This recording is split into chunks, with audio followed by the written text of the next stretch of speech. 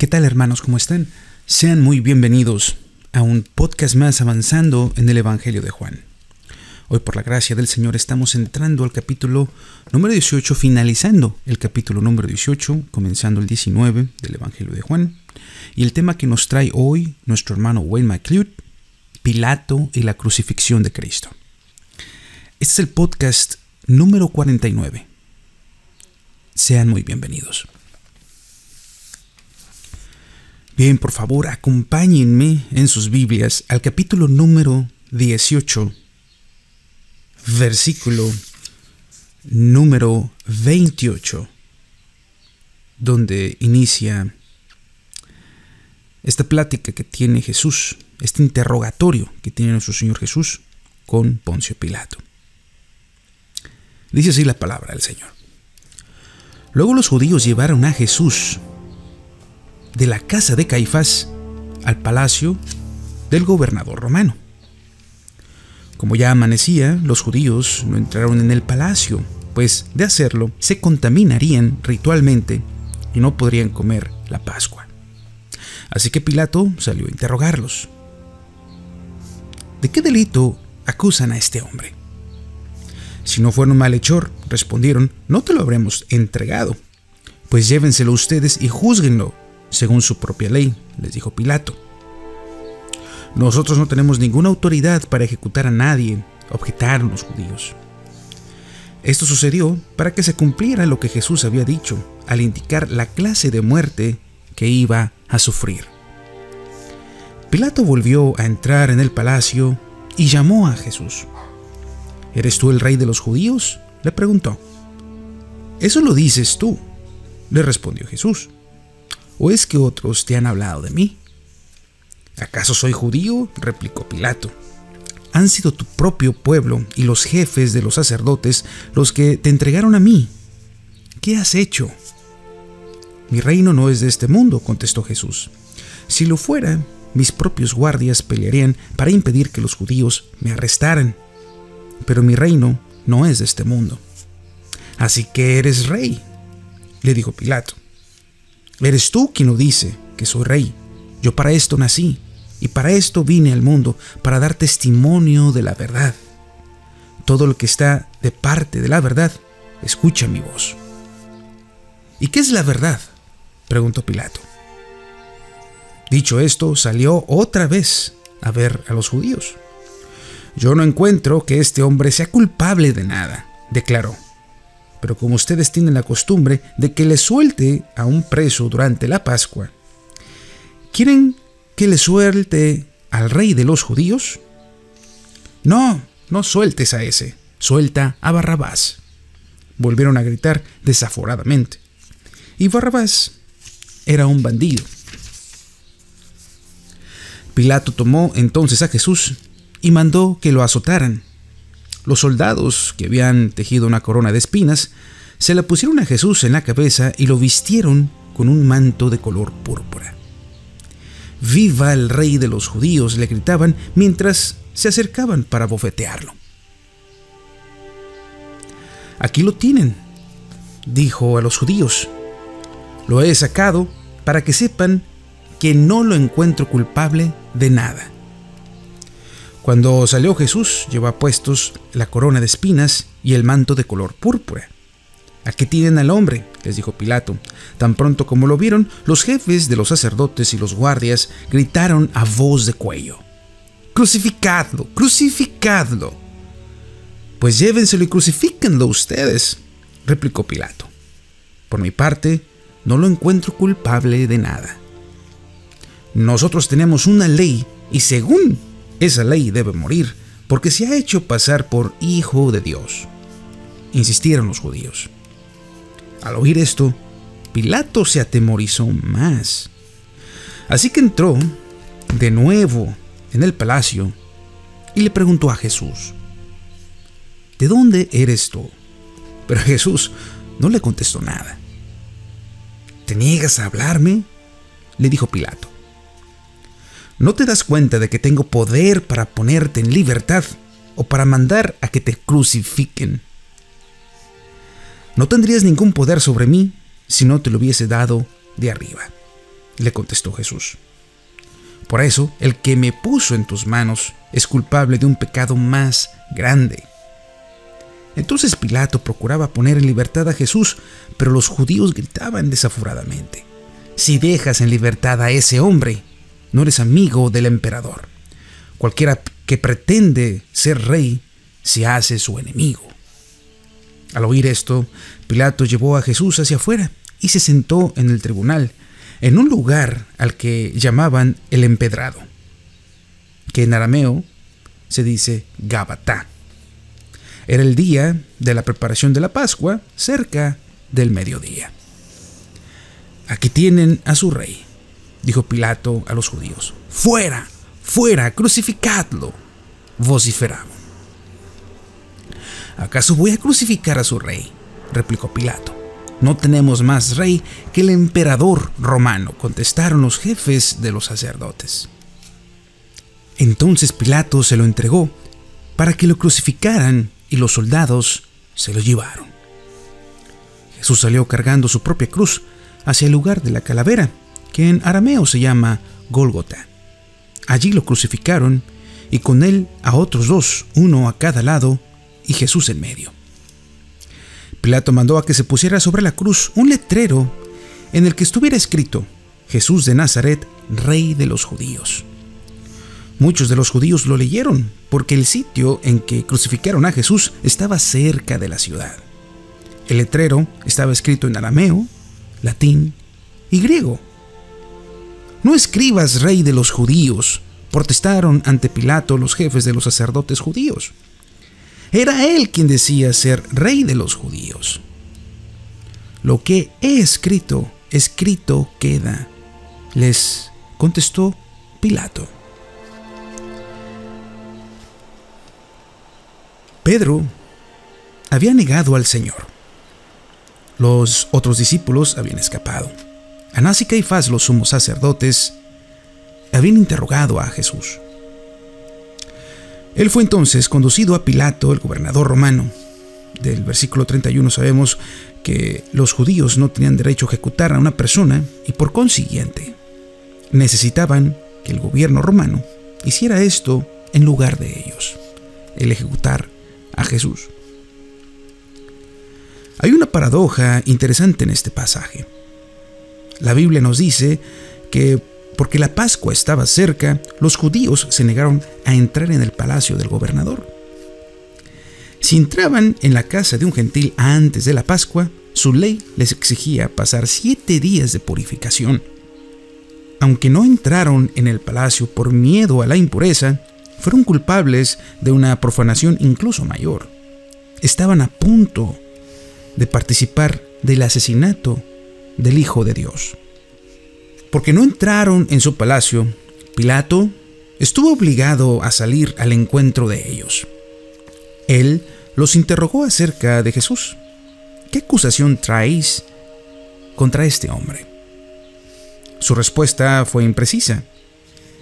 Si éste no fuera malhechor, no te lo habríamos entregado. ¿Qué tiene que hacer Pilato con esta declaración los judíos no tenían aquí ninguna acusación. ¿Habían esperado que Pilato aprobara la pena de muerte sin examinar el caso? ¿Habían esperado que Pilato estuviera de acuerdo con el veredicto simplemente para complacerles? Aun cuando es verdad que Pilato eventualmente se inclinaría a sus deseos. Él se negó a hacer esto en este momento. Tomadle vosotros y juzgadle según vuestra ley fue su respuesta. Para conseguir un cuadro más nítido de esta escena completa, recopilaremos alguna información del juicio de Pilato de otros escritores del Evangelio. De Lucas, por ejemplo, podemos ver del capítulo 23, versículo 1 y 2, donde entendemos que los judíos al darse cuenta de que esta línea de razonamiento no les estaba llevando a ninguna parte, comenzaron a acusar a Jesús de delitos políticos. Estas acusaciones conseguirían la atención de Pilato. Él les había dicho que juzgaran a Jesús según su propia ley. Obviamente, él había sospechado que sus acusaciones eran una naturaleza religiosa. Sin embargo, cuando acusaron a Jesús de afirmar ser rey de los judíos, este era un asunto que Pilato no podría ignorar. Él entró a Jesús al palacio para interrogarle más. ¿Eres tú el rey de los judíos? preguntó Pilato. Jesús le dijo a Pilato que aunque él era rey, su reino no era de este mundo. Su reino era un reino divino. Él le recordó a Pilato que él no vino por razones políticas, sino más bien para proclamar la verdad. Su reino consistía de los que creían la verdad y él les enseñaba. Al oír esto, Pilato entendió que Jesús no planteaba una amenaza política para la ocupación romana de Israel. Este problema era, como sospechaba, de naturaleza religiosa. Él no encontró base para una acusación en contra de Jesús. Él salió a los judíos para informarles de su decisión. Yo no hallo en él ningún delito, concluyó. Pilato sabía que los judíos no se contentarían con su verdicto. Era su costumbre soltar a un delincuente en la época de la Pascua. En un intento de complacer a los judíos y por fin solucionar este problema de qué hacer con Jesús, Pilato decidió que les daría a los judíos una elección. Él escogió a un hombre de nombre Barrabás para pararse al lado de Jesús frente a la gente. Barrabás era un conocido revolucionario. Él había estado preso por insurrección y asesinato. Esta fue una maniobra política muy sagaz de parte de Pilato. Él sabía que la muchedumbre no estaría feliz con su negativa de condenar a Jesús. ¿Cómo podría mantener a la gente contenta y no condenar a Jesús, al que consideraba él inocente? Al traer a un conocido al escenario con Jesús, Pilato le echó encima la decisión a la gente. No hay dudas en mi mente de que Pilato tomó esta acción para liberar a Jesús y salvarse de tener que hacer una decisión impopular. Toda la situación le salió al revés a Pilato. La gente demandó la liberación de Barrabás. Para nosotros que amamos al Señor, esta decisión es difícil de comprender. Los judíos eligieron soltar a un conocido asesino en vez del Señor Jesús que había curado a sus enfermos y les había ofrecido la vida eterna. Debido a que le salió al revés el intento de soltar al Señor Jesús, Pilato se vio forzado a encontrar otros medios para tratar con este problema. Él llevó otra vez a Jesús al palacio. Él ordenó a sus soldados que le azotaran. Juan nos dice que cuando los soldados golpearon a nuestro Señor Jesús, le vistieron de túnicas reales, le pusieron una corona de espinas en su cabeza y se inclinaron burlonamente delante de él. Mateo también nos dice que los soldados escupieron al Señor y le golpearon en la cabeza, una y otra vez. La agonía que nuestro Señor Jesús sintió cuando le golpeaban con una vara aumentaba por causa de la corona de espinas que le habían colocado en su cabeza. Cada golpe de la vara empujaba las espinas más profundamente en su cráneo. Usted no puede leer este pasaje de la Sagrada Escritura sin ver al diablo en toda su furia estallando en ira en contra del Señor Jesús. Este no era un procedimiento normal romano. Jesús no había sido condenado no tenían derecho de azotarle. Esta era una crueldad ilegal en su peor forma. No puedo leer este pasaje sin preguntarme por qué Dios permitió que esto ocurriera. Este no era un simple hombre al que estaban golpeando, este era el Hijo de Dios, el Creador del universo. Cada once de energía que se necesitaba para golpear al Señor sobre su cabeza con esa vara venía de Dios cada aliento que tomaban para pronunciar una palabra blasfema en contra de nuestro Señor venía de su Creador. ¿Cómo es posible que simples hombres pudieran insultar tan cruelmente y golpear al mismo tiempo al Hijo de Dios sin que Dios el Padre estallara de ira en venganza? En los días de Moisés, cuando Dios descendió sobre la montaña, incluso el más pequeño de los animales, que se atreviera a poner un pie en ella, tenía que ser destruido. Aquí tenemos soldados que torturaban al Hijo de Dios sin la intervención de Dios mismo. La única explicación para esto es el amor de Dios por usted y por mí. Por esto es que Dios permitió que estas cosas ocurrieran. Él lo hizo por nosotros. Después de esta cruel paliza, Pilato sacó a Jesús otra vez y le presentó a la gente. Creo que era su esperanza que la gente al ver de qué mala manera el Señor había sido golpeado, habría quedado satisfecha. Cuando le presentó Jesús a la muchedumbre, en su estado mayugado, Pilato les dijo otra vez que él no hallaba absolutamente ningún delito en él. No hubo compasión de la muchedumbre. Incluso este cruel castigo no fue suficiente. No serían felices hasta que Jesús estuviera muerto. Crucificadle, crucificadle, gritaron. Tomadle vosotros y crucificadle, porque yo no hallo delito en él. Los judíos sabían que no tenían derecho legal para matar a un hombre sin la aprobación de las autoridades romanas.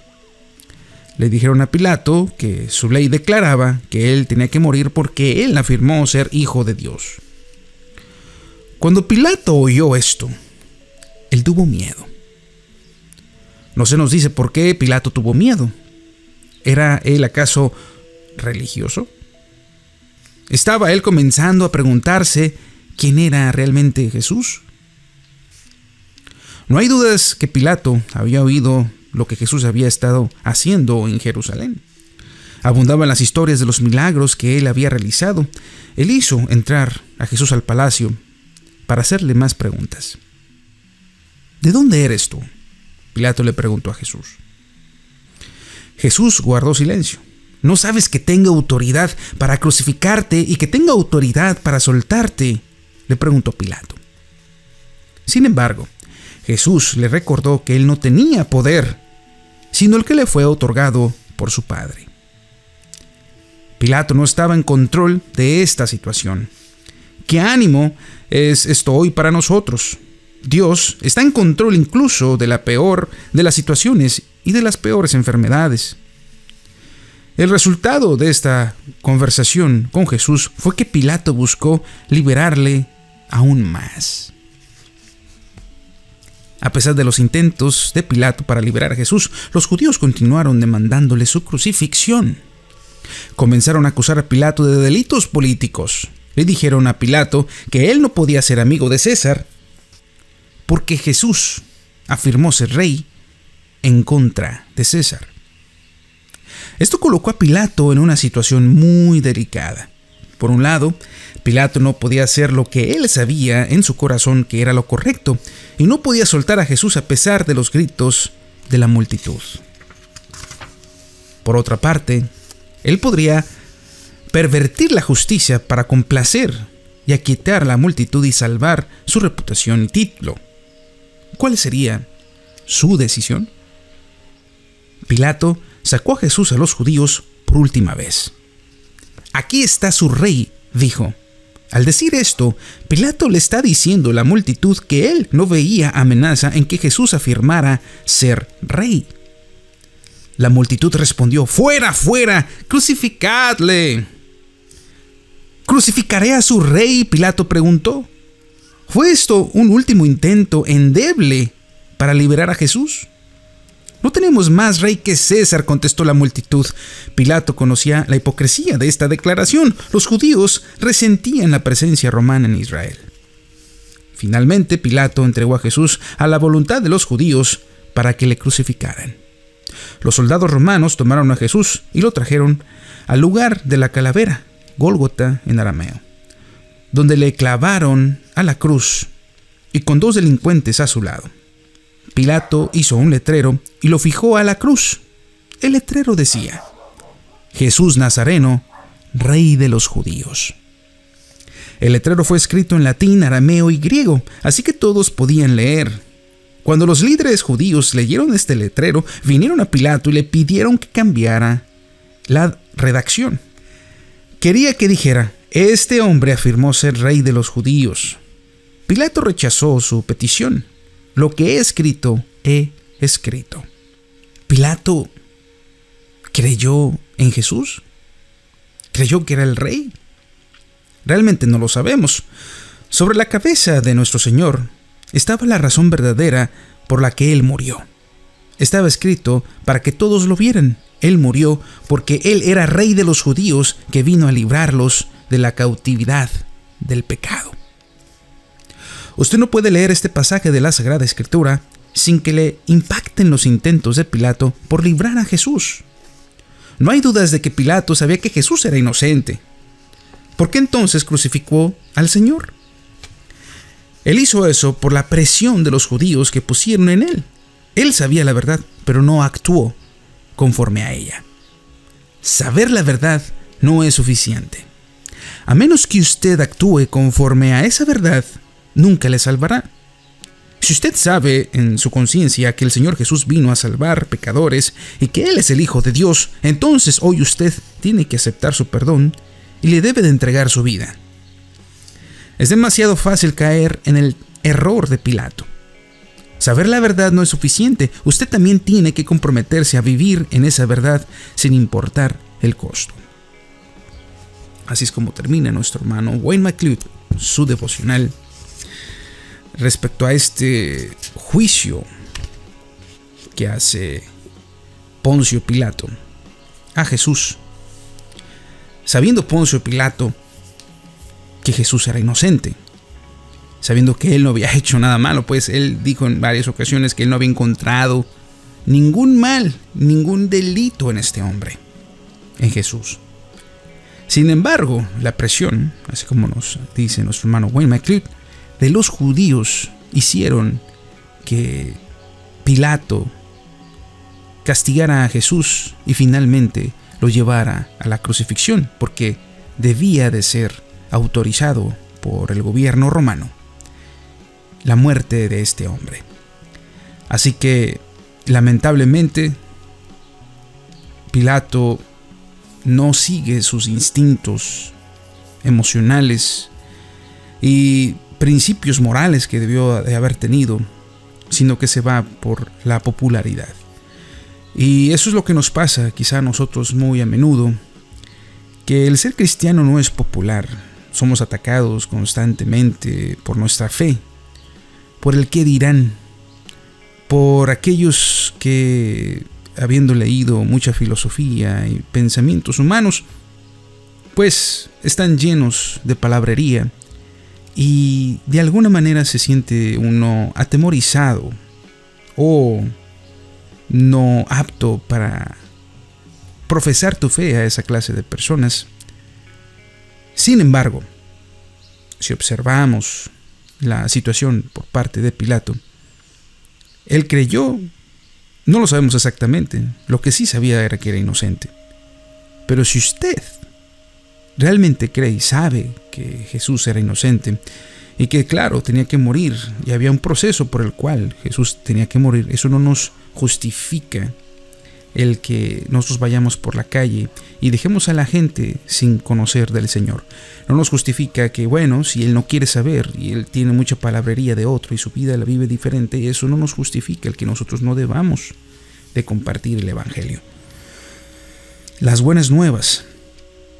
No necesitamos ser eruditos. Hay una razón por la cual nosotros vivimos y si esa razón por la que usted vive o por la cual usted vive y respira cada día es Jesús, usted no debe de temer compartirlo. Si es Él el que le da la vida y es Él el que le permite tener esa razón por la cual vivir, no tiene malo compartirlo. No se asuste por compartirlo.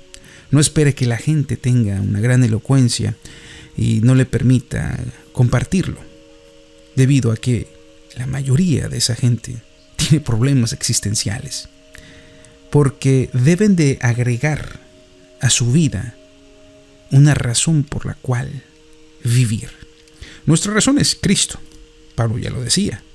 Morir es ganancia, pero cuando vivo, vivo por Cristo y morir es ganancia. Pero para la demás gente, vivir tendría que ser a través, digamos, como hoy lo expresa el mundo, del amor. Entonces la gente vive por el amor, el amor a su familia, el amor a sus hijos, y se entrega a eso porque eso es todo lo que tiene. Si falla eso, entonces falla toda la cadena existencial que tiene esa persona en su cabeza. Hay gente que vive por su trabajo y esperanzado a que él haga algo especial para que lo recuerden. Entonces podría ser quizá el creador de Facebook o el creador de una píldora especial o el creador de algo o descubridor de algo especial para que la gente lo recuerde. Claro, no lo va a recordar por siempre, pero esa es su razón por la cual él vive. Esa es eh, su respuesta respecto a su existencia. Pero si falla eso, si realmente no tiene nada que ofrecerle a este mundo, entonces su existencia es nula. Su cadena existencial ya no tiene razón de existir. Entonces, ¿para qué estoy? Si ya no descubrí nada, si ya estoy agobiado por el mundo. Bueno, para ti que tienes eso, bueno, yo creo que deberías de buscar en el Señor Jesús. Y espero que si estos podcasts te ayuden a acercarte un poco y a conocer un poco del por qué nosotros creemos en Jesús. Espero que los puedas escuchar y no hacer oídos sordos a lo que escuches. No tienen eh, nada de malo, ni, como dicen mucho, ni siquiera es un suicidio intelectual el creer en Jesús. Grandes científicos y grandes personas eh, intelectuales creen en Jesús y no les hace nada mal creer.